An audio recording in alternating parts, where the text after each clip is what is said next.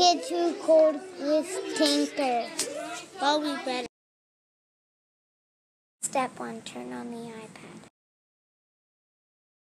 Step two, find the Codable app. Press Tynker. Press Candy Quest. Press level Use the box to code the character. Press play.